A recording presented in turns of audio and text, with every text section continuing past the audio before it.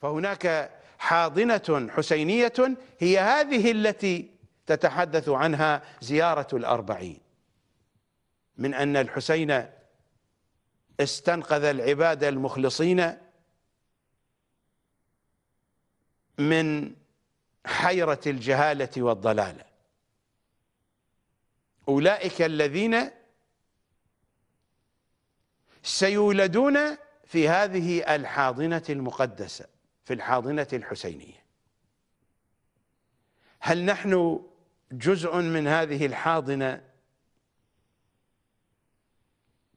أم أن الحاضنة في مكان بعيد عنا ونحن الذين ندعي أننا خدام الحسين فإننا نقوم بخدمتنا في مكان آخر في حاضنة أنشأتها لنا سقيفة بني نجف. ويبدو أن الحقيقة هي هذه.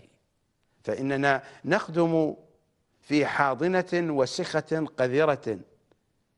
الحاضنة التي أنشأتها لنا سقيفة بني نجف بني مرجعية. وإلا فكل الخطباء وكل الشعراء وكل الرواديد يرددون من أن الأمة قد صلح حالها بعد مقتل الحسين وكل ذلك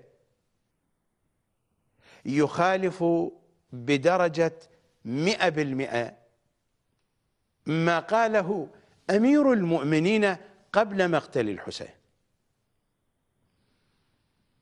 وما يظهر من كلمات سيد الشهداء نفسه في يوم الطفوف.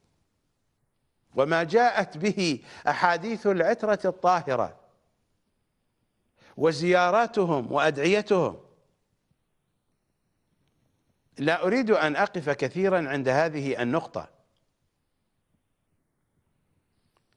فالحسين في حركته ضمن البرنامج التأويلي في مرحلة التأويل أكمل ما شرع به الأمير والمجتبى صلوات الله عليهما من صناعة مقدمات لمشروع عاشوراء ونفذ المشروع بنفسه وعلى نفسه صلوات الله وسلامه عليه.